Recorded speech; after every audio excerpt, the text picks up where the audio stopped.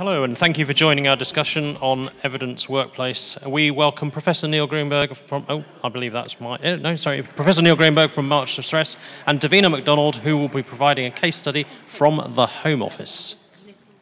Hello, uh, good afternoon. Um, thanks very much for um, coming to our session. Um, we hope we've got an interesting 35 minute slot, uh, and um, you can see our, our title up there.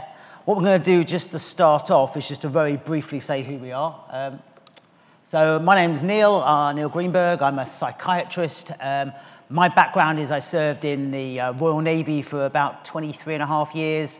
I left about five years ago. Um, and then I do, a, I think, what's called a portfolio career. The, the reality is it means bits and pieces. Uh, doing some academic work down at King's College London, run a small little company and do lots of work to do with uh, military veterans uh, and the like. And Davina, do you want to? Uh, yep, so I'm Davina Macdonald Russell. Um, I was actually with the uh, Home Office for 13 years. Um, I've actually taken a career change in the past few months. I'm now working with uh, B&T as a, as a project consultant. Um, but I also have uh, operational experience as a prison officer. I've actually worked in an immigration detention centre. Um, and my actual motivation for this type of work is driven by uh, my husband and my father-in-law having depression and anxiety. And also, uh, almost six years ago, I had a significant neurological illness, which, with the help of many, many different types of strategies, I managed to overcome. Great. Thanks very much. Um, so you've obviously heard lots of great presentations and great stories today, and you'll know that um, people who don't um, turn up for work obviously are uh, causes difficulties for the individuals and also causes difficulties for the organisation. You may well have heard of the term um, presenteeism, which describes people being at work in body but not being uh, at work in, in their mind. And actually, in terms of uh, loss to industry, that's a far bigger loss than actually people not turning up for work. And I guess my interest in, in making sure that the mental health of people at work um, is as good as it possibly can be comes from the fact is, as a doctor, I'm interested in people, but having been in the military, it's also making commanders, you know, people in charge, um, interested in getting the best out of their people. Um, and sadly, when things go wrong sometimes, they go wrong in spades. Uh, and sometimes people who have mental health difficulties, there are there's just some pictures up here of air crashes and Germanwings and um, Sergeant Blackman and other such things, is where, where, where things go wrong in, in safety critical environments particularly, then actually the outcomes can be, can be pretty serious. You know, so mental health isn't just about being good to people, sometimes it's absolutely uh, a key part of health and safety. So in the, in the world that, that I work in, um, you know, stress comes from many sources. It can come from home life, from work life, but also there are, there are organizations out there that routinely um, deal with traumatic material as part of their everyday life.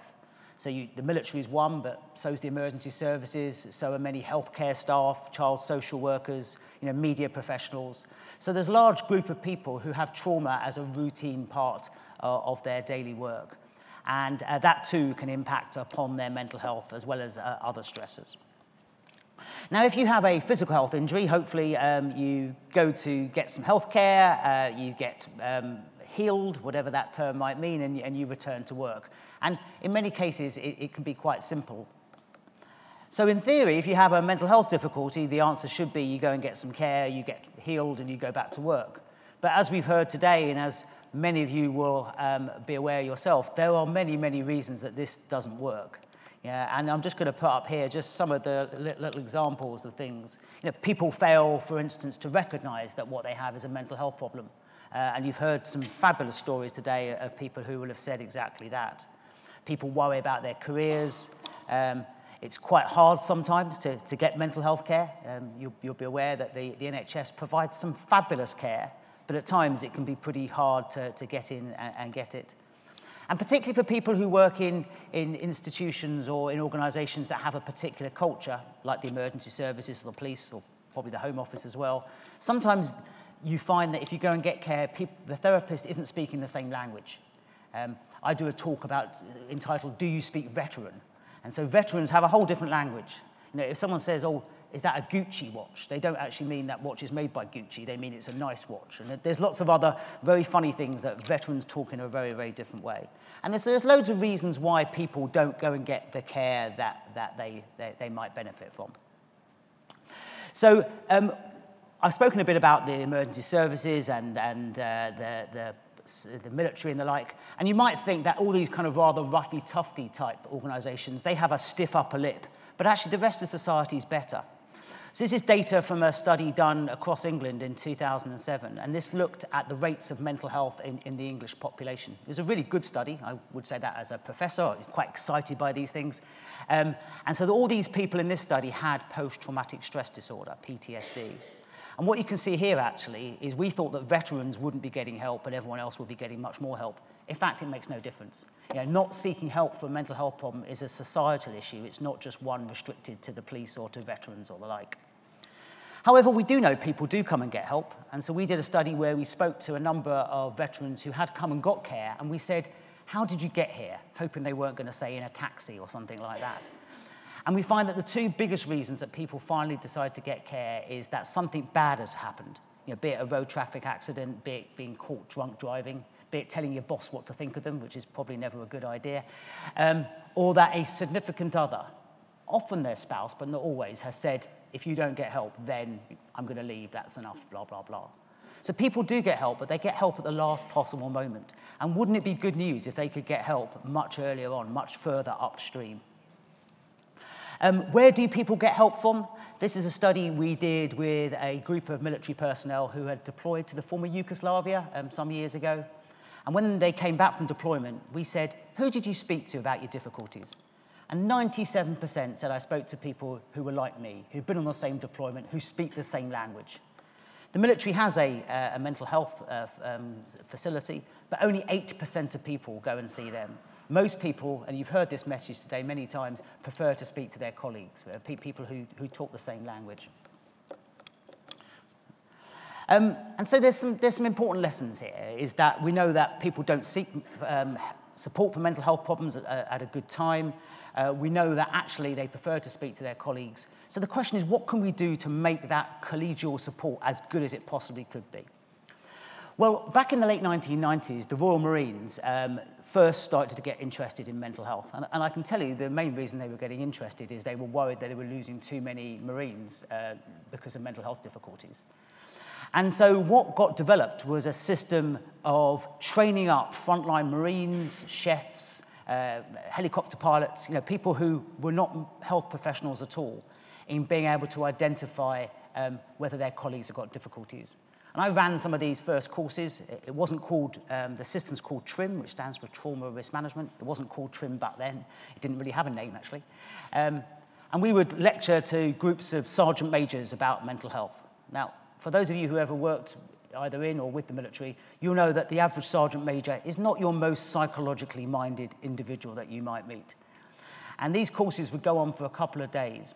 And we were really kind of concerned at first, but we, need, we didn't need to be concerned these people who have been in the military for a long time, they had plenty of experience of seeing people who have been affected by mental health problems. They might not have called them that, but they absolutely had seen it before.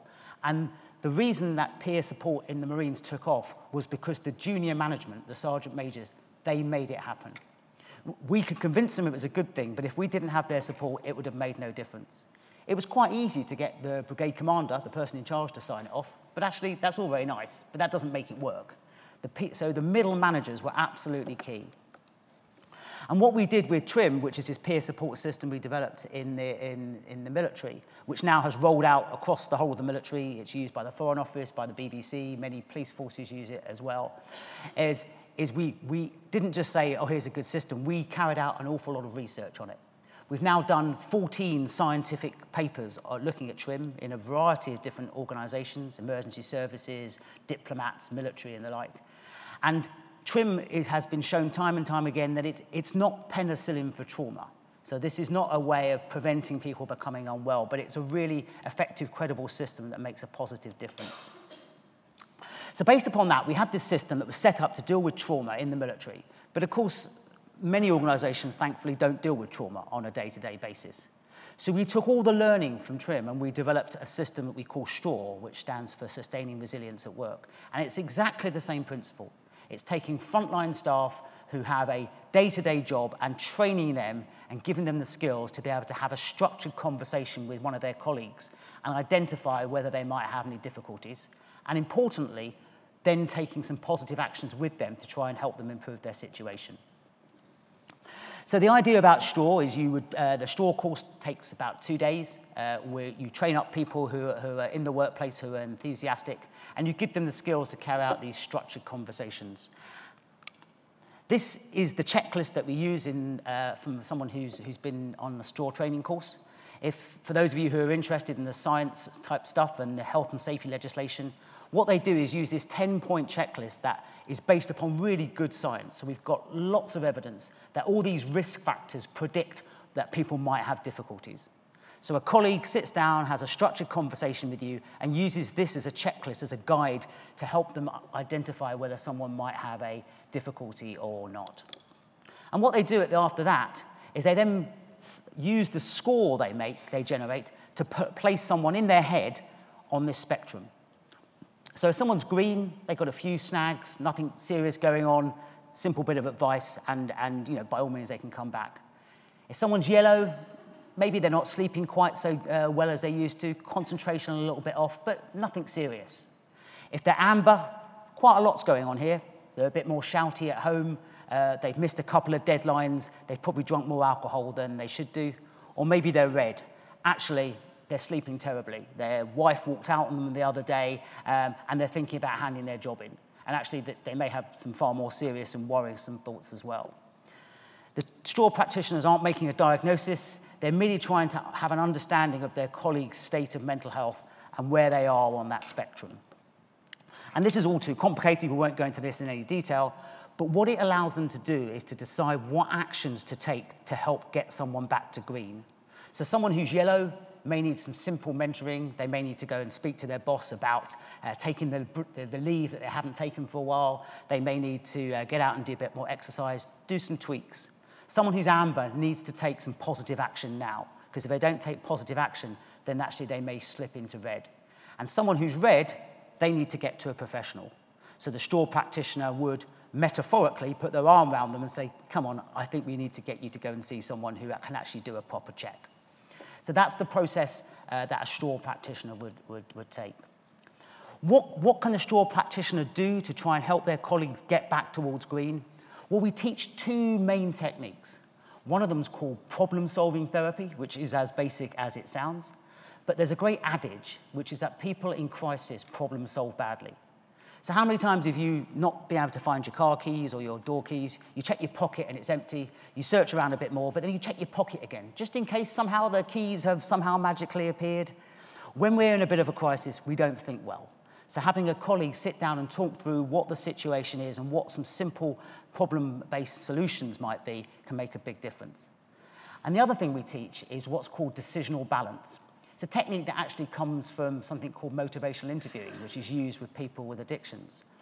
And the idea of decisional balance is that when someone's not doing an action that might help them, taking some leave, speaking to their boss about their, their difficulties, um, speaking to their partner and the like, is saying what you should do is A, B, and C doesn't tend to help. We don't tend to take advice very easily. What decisional balance technique does is help the person use their own words, get them to think about the pros and cons of taking action and the pros and cons of not taking action. And if you get them to talk through the, those four boxes, taking action, not taking action uh, in both ways, then what you get is a statement that says, actually, if you put it like that, I should take help. I, I should take some action to, to, to make a positive difference. And if you think about what motivation is, motivation is the pressure between what you want to do and what you are doing. If your life's pretty rubbish and you really want your life to be good, the bigger the difference between those two things, the more likely you are to take positive action. So we train our, our straw practitioners to be able to do that. So in summary, we developed this system originally called TRIM, which is a peer support system in the military. We took all that training, which was based upon trauma and battlefields and, and uh, unpleasantness, and we took that all and we put it into the STRAW training package, which is delivered to organisations that work in a whole range of different challenging organisations. And it's much more focused on day-to-day -day stressors uh, at work and at home. Okay, thank you.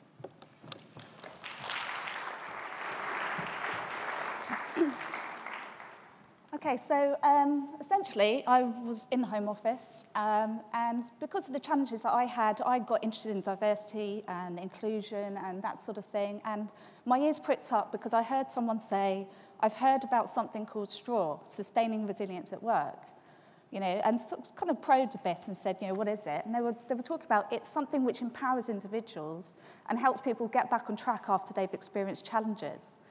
So I, I just thought, actually, this is something which I'm genuinely interested in. I just said, I'm, I'm here, let me, let me take it on, let me lead it. Didn't know anything about it at the time. So essentially, then started to get to know uh, Neil Greenberg's company, March on Stress, and arranged the very first training course. Now, just to outline, I was at the time working in the Office for Security and Counterterrorism. Uh, that's a department within the Home Office, Um, and a lot, of, um, a lot of us were DV trained. We did a lot of work with uh, intelligence agencies, military, police, and that sort of thing. Very fast-paced work. So looking at the challenge, we're looking at high-profile activity. I mean, you've all seen the Home Office in the press pretty frequently, I, I would guess. Um, we had uh, challenges because of security constraints. So people would be working on something for, you know, oh, I'm, I'm, I'm developed vetted. I'm working on this top secret document. Who can I talk to? Um, we had health-related absences, like many organisations. Um, but also, uh, there's quite a lot of trends regarding people who needed adjustments in the workplace. So thinking about all of that's a challenge. I actually saw this as a massive opportunity. And critically, I was thinking, this is about empathy here. This is about peers, empowering other peers to actually, you know, get back on track and take control over situations.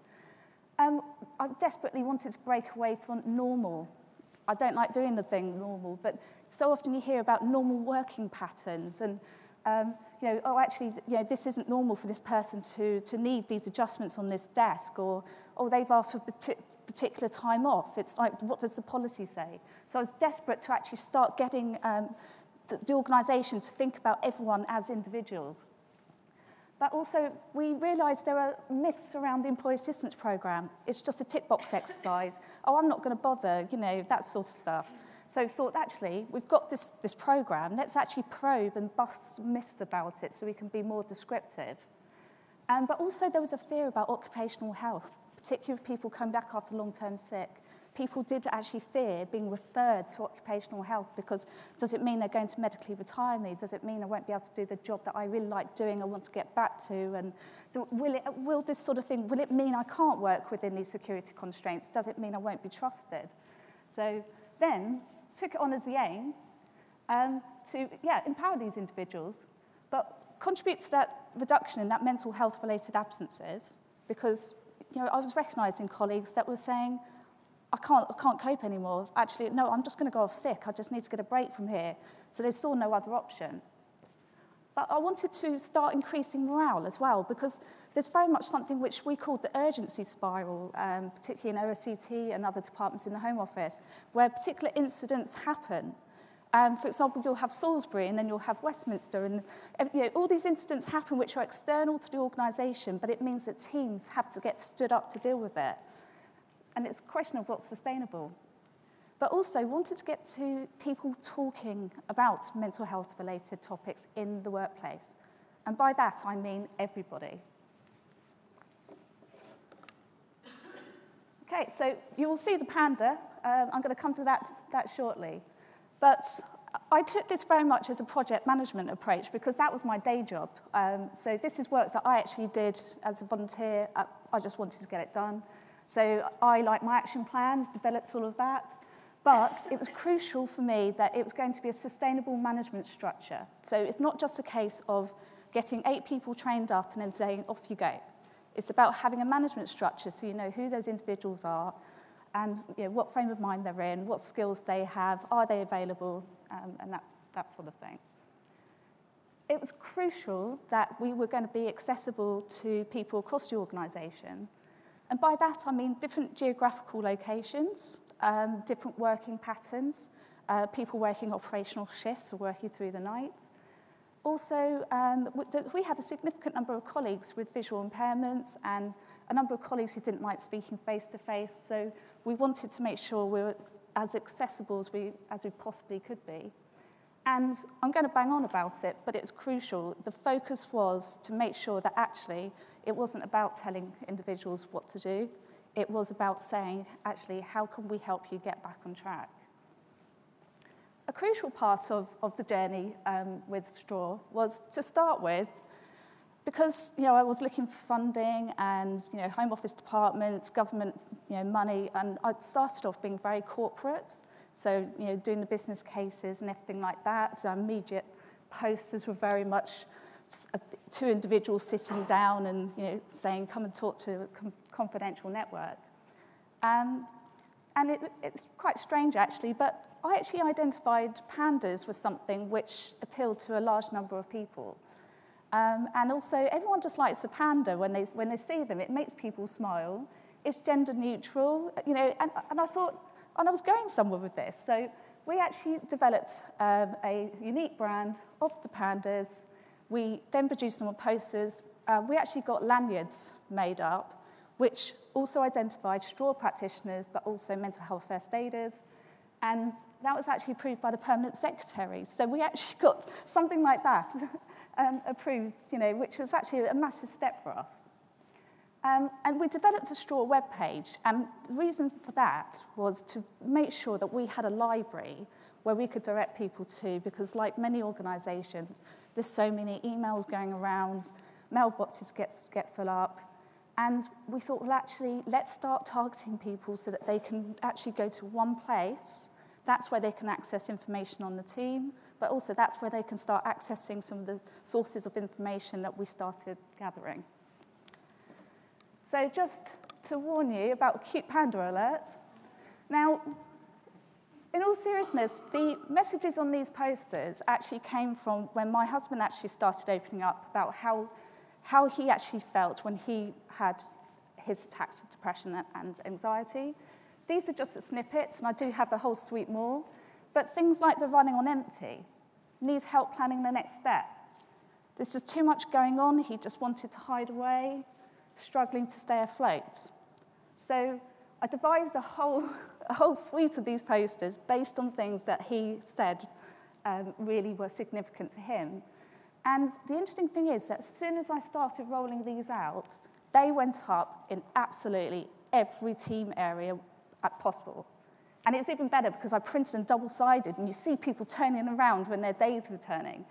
But crucially, this got people talking out loud, but also everyone will start identifying with the messages on them as well. So this is all, all part of the, uh, the journey that I was taking them on. An absolutely crucial part of embedding straw and making it a success were actually looking after the practitioners themselves. And, and we have had this spoken about today, that look, you have to look after yourself as the first aider first. You know, we heard about you put the mask on yourself before you help your child. But actually, you don't know exactly what cases your colleagues are going to be taking on when they go and speak to an individual. Um, we had a whole range of cases. So you know, um, I, my, one of my quickest uh, literally was about three minutes, and the individual just wanted to tell me they'd been diagnosed with, a, with an illness, and they just wanted to tell somebody. On the other hand, there are cases which are so complicated and can involve eight or more concurrent strands um, of information and challenges, which can equally be impactful on, on the practitioner. So a crucial part of this was making sure that we had the practitioners with good sound knowledge, but also knowledge of who they could go to as well if they felt they didn't know where to signpost individuals to. We also made sure that we did pre-briefs before they spoke um, to colleagues in Challenge, and we also did uh, debriefs. Now, these didn't breach confidentiality, but it was about checking in, and it's about making sure the practitioner was going to clear their mind before committing uh, that, to that coaching session with the, with the individual.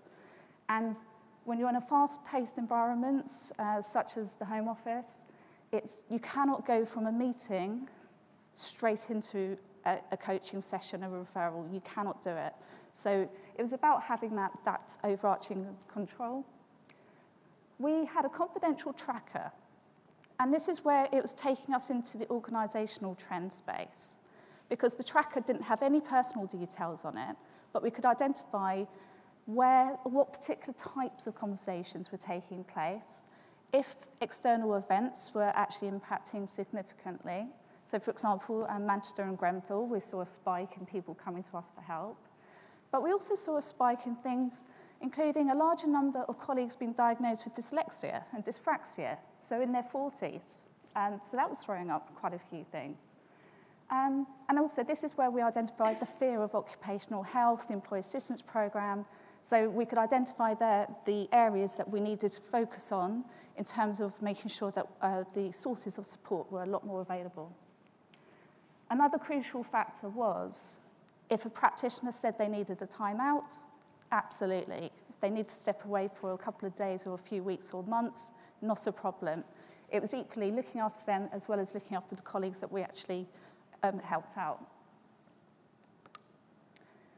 So I said when I started this work that if, if I could actually help uh, one individual, for me it was going to be worth it. Because I was thinking about personal experiences, the challenges that um, I had in terms of my return to work, the stigma that my husband encountered in terms of the workplace. So we thought if we can help one individual actually have a less challenging time as a result of our intervention, great. So these are genuine uh, testimonials I have got a lot more. Actually, some of them are really detailed, so I haven't got the space. But there's a couple, particularly the, I feel really good now. I feel I can get back to operational work once again. And for any of you who know what operational work is, is like, that was a massive step change to this individual. Um, it's about the listening factor. And crucially, one of the skills you need as a practitioner is if it takes it, you need to be able to sit there for 45 minutes and not say a word. So it really is about that listening factor. So, you know, brilliant to see that. I feel so much better now, started in a new job. You know, how positive is that? You know, some, someone comes to us feeling down and then they've taken a positive move and they're actually enjoying their work. I mean, that's absolutely fantastic. And then I'm going to talk about how we branched into teams, but we've got um, testimonials about resilience sessions that we then tailored for teams. Um, and the fact is that we actually started getting this recognised as something that uh, OSCT as a department was proud of and has actually spread into at least four other departments. So we took the straw piece, which was helping those individuals out, you know, using the techniques that Neil outlined, but also we targeted managers and we targeted teams. And it was interesting here because individuals said, Can you come and talk to my team? And then, as a result of the manager and team sessions, can I come and talk to you as an individual? So it, it was an interesting two way um, progression that we made there. But also, that helped us to really uncover some of the underlying causes of some of those urgency spirals that I talked about earlier. We saw people starting to talk a lot more about mental health across the organisation. And by this, I mean from every single level after the Manchester and Grenfell incidents, that was the first time I saw uh, directors actually saying on stage, I have mental health challenges. You know, we want, we want you all to feel comfortable. We want to make sure you've all got somewhere to go to. And it was absolutely fantastic to actually see Straw being up there as one of the forefront services that, that directors were really, really galvanising support for. I've mentioned the identification of organisational trends. So we could then escalate these to senior managers to say that we need to have more activity. So, for example, with the dyslexia dyspraxia piece, you know, we need to have more awareness um, sessions built up for line managers because this isn't the case of an individual who's been lazy. There's genuine reasons why the quality of the work's not there. Um, so it's, it's interesting how you, you can put all of this information together, but because we had this, this overarching structure, senior managers would actually listen to us. And, and then taking some of those testimonials as well, make sure they were all anonymised, also kind of really, really lent the credibility of the initiative. We all talk about people plans and people surveys, but actually it's a proud moment when the work that you've done has shaped that people plan strategically. Um, because also this is something which was being driven by colleagues for other colleagues. It wasn't in response to a staff survey. It was genuine motivation to actually get something out there which could hopefully benefit colleagues. And, and the 200 plus is a really you know, significant achievement. So this is um, kind of shows you the stages of what I've just talked about, but critically as well, it shows how we were working with individuals and teams. But from there, that's where the cross-department knowledge sharing came into it. I was attending buddy groups in different departments. They were coming to some of our meetings. But also from that, that's how the straw concept has grown. So it's not just in OSCT now. The Crime Fire Policing Group, UK Visas International, the Ministry for uh, Communities and Local Governments, um, and actually, I'm pretty sure there's a couple of others on your waiting list. Um, but actually, that shows that it was being driven as something which is really, really working. Um, but, and then it comes into the uh, organisational people plan, but also we put it into a wider resilience of wellbeing programme. So STRAW was one concept of that. STRAW has definitely proven to be a successful concept. And it's particularly with some of the techniques that you use, you essentially are handing the power over to individuals. Um, it's got the evidence from those that said it stopped them taking time off work. And one of the really, really hard things to do is to kind of really get that formidable statistical piece about how much it's benefited the organisation.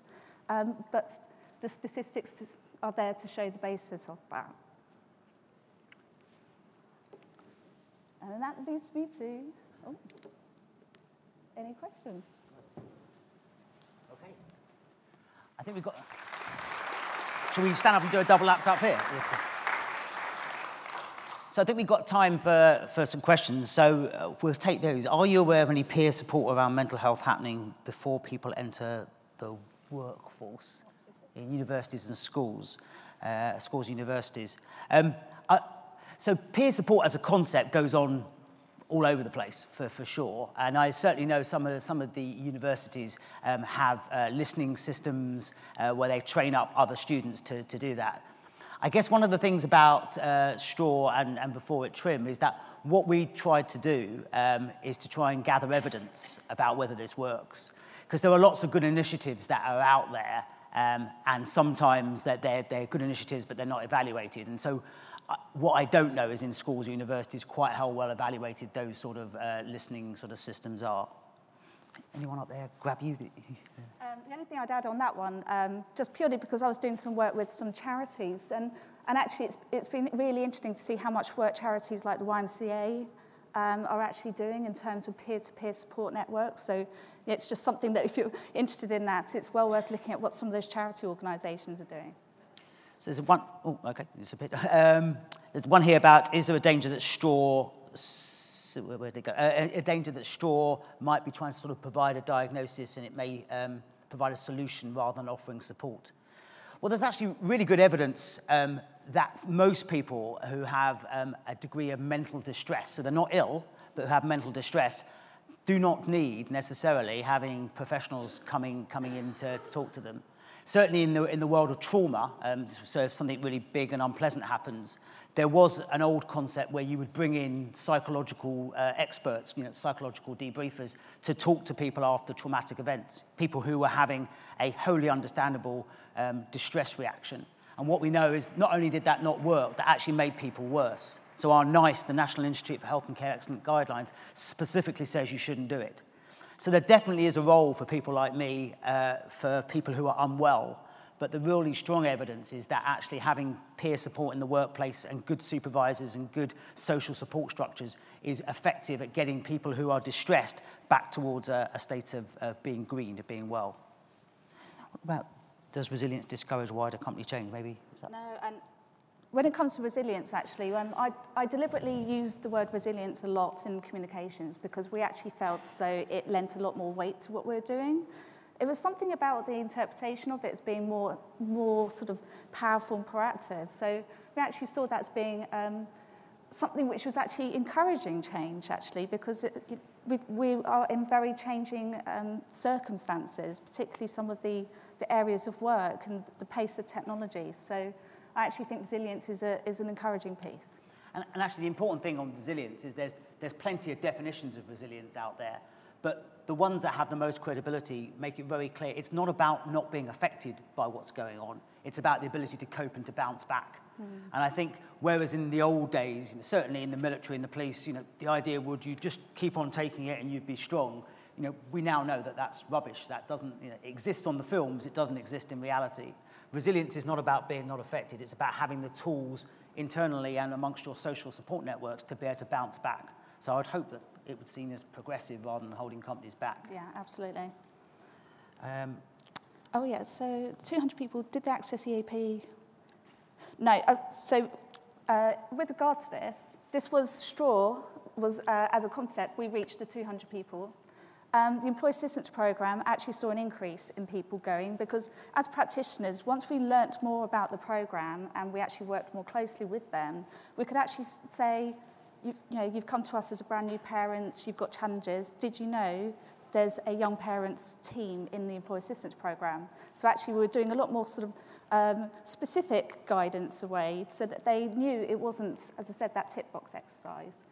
Um, but also things like bereavement counselling, uh, the availability of ordinary uh, counselling outside the GP, um, but also the suite of financial advice, the health advice that was on there. Um, it was, I have to, I hold my hands up and I was uh, baffled by how much, how little I actually knew about the employee assistance program. So it's certainly complemented as opposed to replaced. I guess the last question there about how do you encourage people to come forward who are less social to peer support. It's absolutely true. There is no one solution that will work for everybody. Some people will find that speaking to colleagues uh, works for them. And you've heard, I think, many times today how many people do prefer to speak to, to colleagues. Some people will want to speak to a professional, you know, and, and that's absolutely okay. There's certainly to have an effective system in any uh, uh, employment uh, environment, you have to have a choice of, uh, of options, not just one option. I think we are at time, um, so thank you very much indeed for thank listening. You. Thank you.